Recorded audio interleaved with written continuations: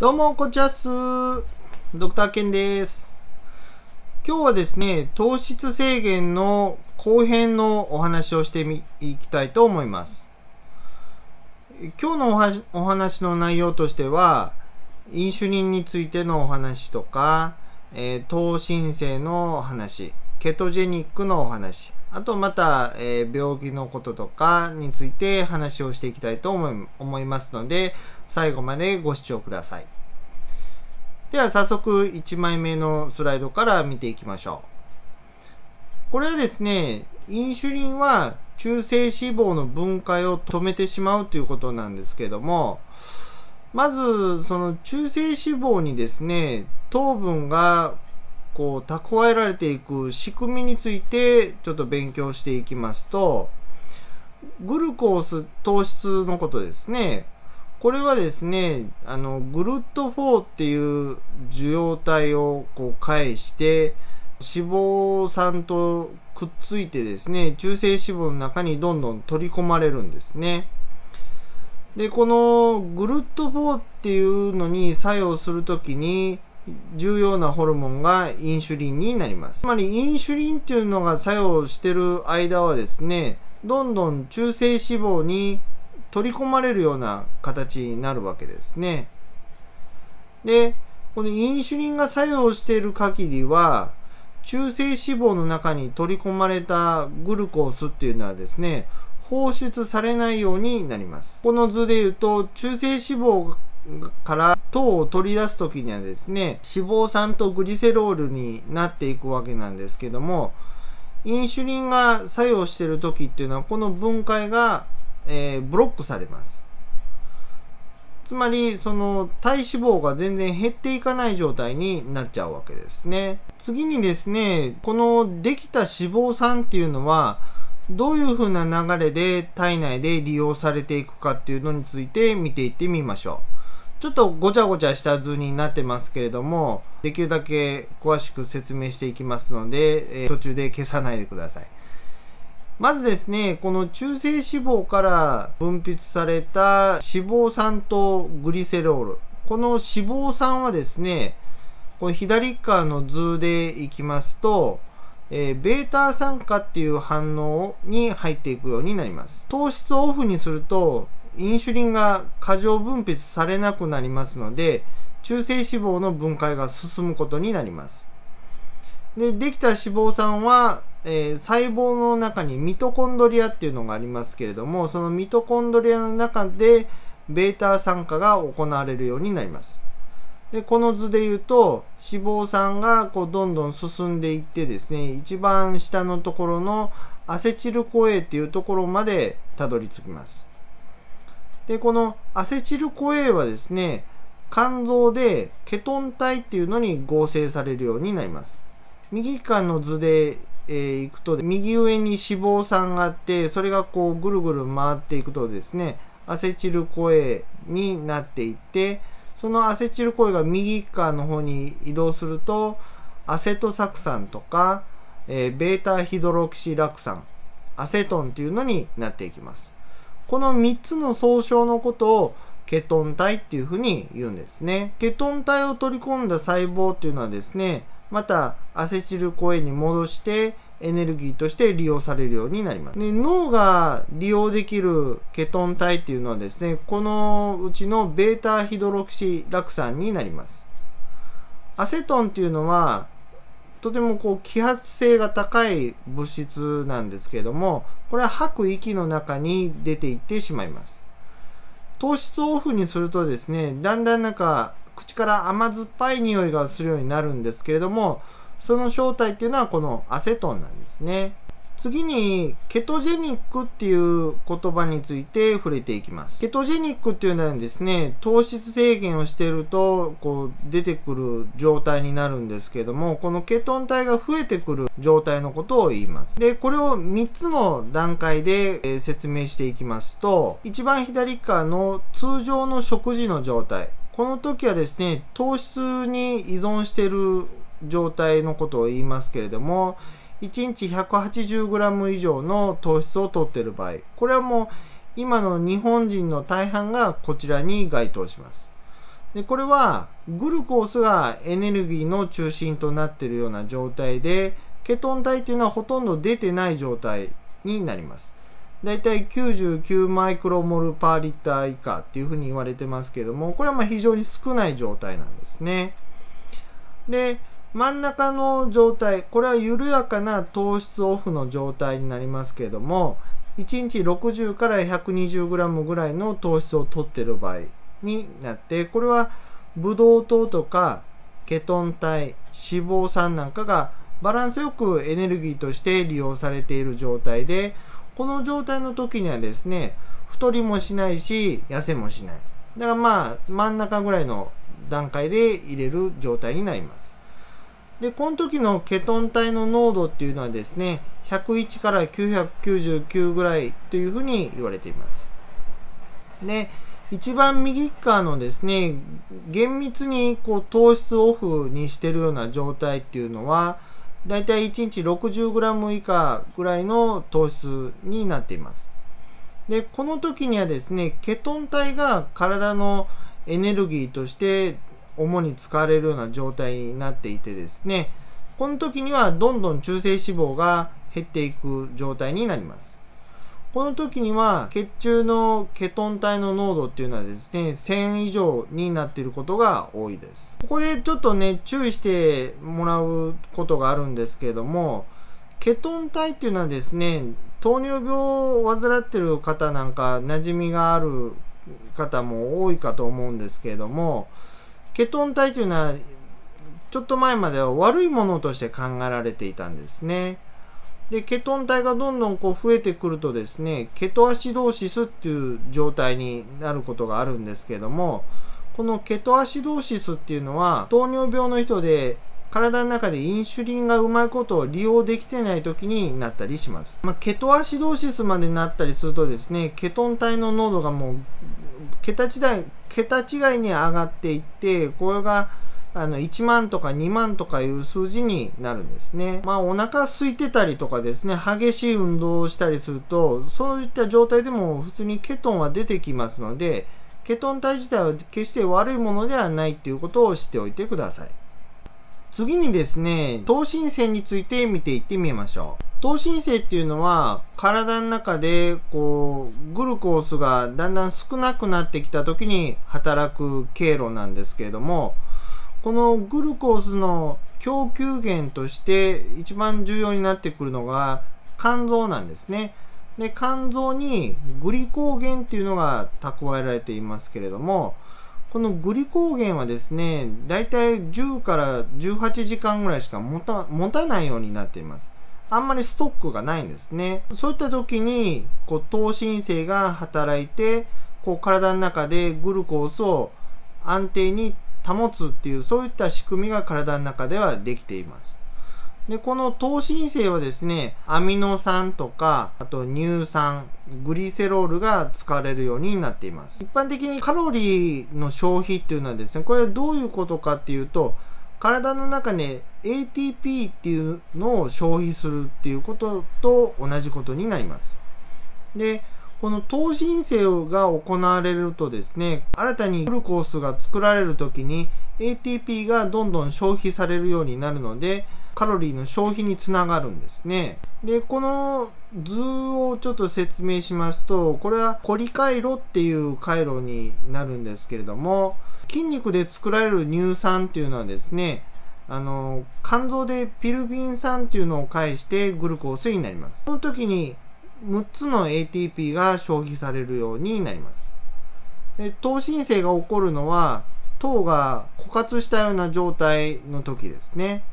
で、このコリ回路で使用される ATP の供給源っていうのがあるんですけども、これは脂肪酸になります。で、糖が枯渇してる時にグルコースから供給されるような ATP っていうのは使われないんですね。だから、この回路が使われている時っていうのはどんどん脂肪が燃焼されているっていうことになります今までのダイエットっていうのはですねとにかくカロリーを取らない取らないようにしてこうダイエットしていた方が多いと思うんですけどもそれも一昔前のダイエット方法なんですね。あの、明日のジョーのね、力士のシーンをこう、はっきり思い出したりするんですけども、まあ、とにかくもう食べないで、水も飲まない。で、ご飯も食べたりしない。で、なんかね、ストーブの暑いのをこう炊いた部屋でじーっとこもってるシーンがありましたけれども、あんなダイエットの仕方ではもう体を壊すのは当たり前で、まあ、最終的にね、力士死んじゃいましたけれども、ああいうダイエット方法っていうのはもう古いんですね。で、現代のダイエット方法っていうのは、まあ、食べたいものは、こう、ある程度制限しなければいけないけれども、あの、肉とかね、そういったものはどんどん取っていいんですね。で、油っていうのは、一時期こう悪いっていうふうに思われていたわけなんですけども、まあ、油をいくらこう制限してもですねあの糖質取ってるんじゃ全然こう太っていきますんで全く痩せないんですね。いい油悪い油っていうのは別の油の動画で上げてますのでまたそちらの方を参考にしてみてください、まあ、現代のダイエット方法ではですね糖質の割合を減らしてカロリー制限はもうほとんどしなくてもいいっていう、まあそれは科学的なエビデンスに基づいたものになってますので、またちょっとこう昔とは全然違うんでね、だそこを認識しておく必要があると思います。お腹の中についてる贅肉っていうのはですね、これは脂肪細胞に中性脂肪として蓄えられているものなんですね。で、体脂肪は糖質、つまりグルコースと、脂肪酸がくっついてできたものの集合体になります。前に出てきた図が、え、右側の方にありますけれども、まあ、インシュリンの作用でこうぐるっと方を返してですね、グルコースは脂肪細胞に取り込まれます。で、脂肪細胞の中ではグルコースと脂肪酸がくっついて中性脂肪になりますで。甘いものとか糖質取りすぎると太るっていうのはこういったメカニズムになってるわけですね。糖質制限をしているとインシュリンはもうあんまり出なくなってきますので、まあ、中性脂肪もできにくい。つまりお腹に肉がつきにくい状態になります。ここで一つ注意しなければいけないことがあります。糖質オフにしてる時っていうのはですね、先ほど出てきた糖新生が活発になっていきます。で、糖新生の時には、9割が筋肉を構成するアミノ酸、アラニンっていうのが使われるようになるんですけれども、つまり、糖質オフの時には筋肉が落ちやすい体になっちゃうんですね。で、筋肉が減るとどうなるかっていうと、消費カロリーの、ま基礎代謝が落ちちゃうんですねで。基礎代謝っていうのはどういうものかっていうと、人間ってこうじっとしてる時でもね、カロリーを消費しますけれども、そのじっとしてる時に消費するカロリーっていうのが基礎代謝になります。で、筋肉はですね、この基礎代謝の2割ぐらいを占めてるっていうふうに考えられていて、つまり筋肉が減っちゃうと基礎代謝が落ちちゃうんですね。で、この筋肉が減るのを防ぐには、だいたい1日20から 40g の糖質は取らないといけないっていうふうに考えられていて、まあ、あと、えー、タンパク質の摂取を減らさないということですね。肉とか魚、卵、あと大豆とか牛乳、そういったものからタンパク質を取る必要が出てきます。糖質オフで予防できる病気っていうのは、まあ、皆さん考えたら簡単にわかると思うんですが、糖尿病なんですね。まあ、糖尿病っていうのは血糖値が上がる病気ですけれども厳密に言うとですね体内でうまくグルコースが利用できない状態にある病気なんですね。それはインシュリンが枯渇してないような場合が一つと。それと脂肪から出るホルモンでこう邪魔されてインシュリンがですねうまく作用できないこういった場合が考えられます。インシュリンがないんだったら、インシュリン打たないといけないけれども、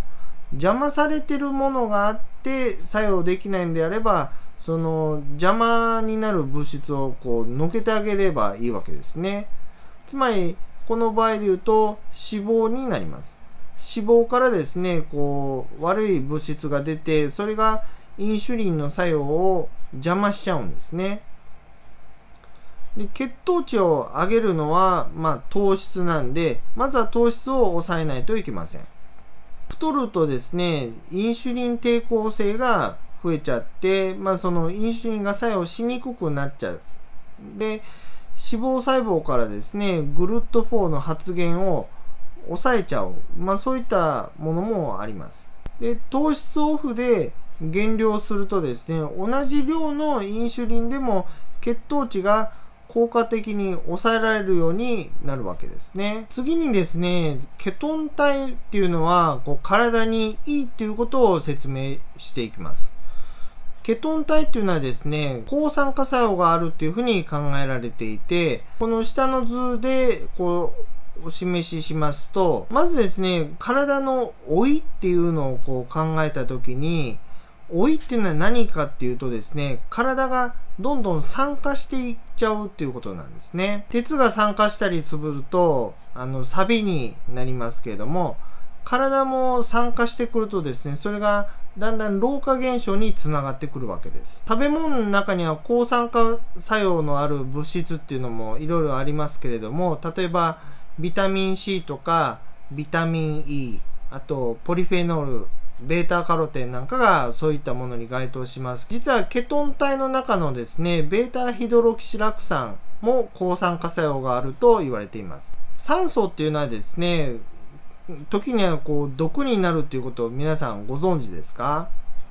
医療の現場ではですね、酸素投与っていうのは頻繁に行われてるわけなんですけれども、あれは酸素をどんどん上げればいいっていうわけでもなくてですね、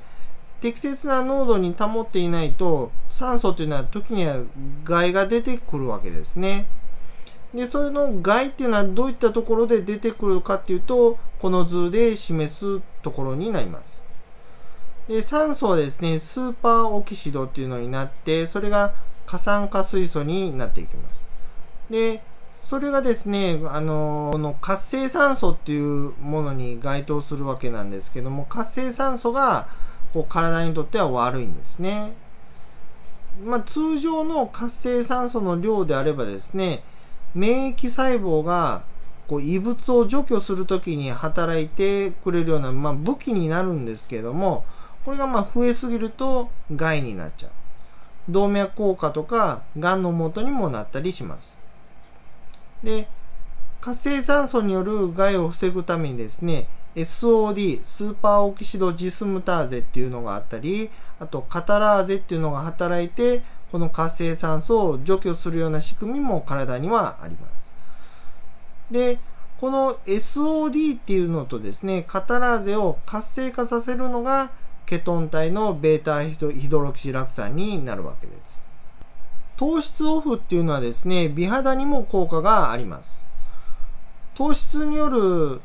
あのストレスっていうのもあってですね、糖化ストレスっていうふうに言いますけれども、その糖化ストレスが起きると、AGES、エイジスっていうのが溜まってきちゃうんですね。エイジスっていうのは、タンパク質と過剰な糖質が温められるとできるような物質になります。肉を焼いたりすると表面が焦げたりしますけれども、あと、パンを焼いたりすると焦げる。あれもです。あの、エイジスによるものですね。ここに皮膚の図がありますけれども、皮膚には表皮と真皮があって、この真皮にはですね、コラーゲンが入ってます。で、血糖が高くなるとですね、このエイジスっていうのが真皮に溜まってきて、コラーゲンとこうくっついちゃうんですね。すると、それがシワとかたるみの原因になります。このエイジスっていうのはですね、一回できると除去するのが非常に困難になってきて、まあ、なかなかそれを取り除くことっていうのは難しいんですね。まあ、ステーキとかそういうのもね、焦げたりすると、その焦げ目を取ったりするのって非常に難しいですよね。それと同じ理屈です。で、まあ、焦げ目が茶色であるっていうことと同じで、このエイジスがコラーゲンとくっつくとですね、肌のくすみの原因にもなったりします糖質オフにするとこのエイジスも減らすことができますので美肌につながるわけですこれが最後のスライドになりますけれども糖質オフをしちゃダメな人っていうのがいるんですね。これはもう一言で言うと糖尿病の人ですね。糖尿病で血糖を下げるような薬を飲んでる人とかあとインシュリンを使ってるような人こういった方が過剰に糖質オフをしちゃったりすると低血糖になっちゃいます。低血糖を起こすとですねこれはまあこう体のエネルギー源がなくなるわけなんであのこうケトン体とかもバーンとこう増えてきちゃうんでこれは非常に危ない状態になりますのでまあ糖尿病の人とかはこの糖質オフのダイエットっていうのは不向きになります。え以上がですね、まあ、糖質制限についてのお話になります。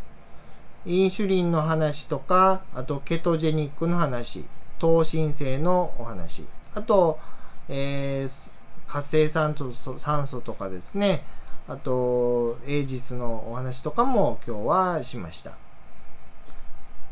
まあ、効果的に糖質制限を行うとですね、体重のコントロールにも役立ちますし、まあ、全身のこう管理にとってはですね非常にいいと思いますので、まあ、皆さんあの今回の話をもとにですねぜひ実践してみたらいいかと思います。それでは、えー、今日のお話はおしまいになります。チャンネル登録と高評価の方、えー、できたらお願いいたします。それでは、さよなら。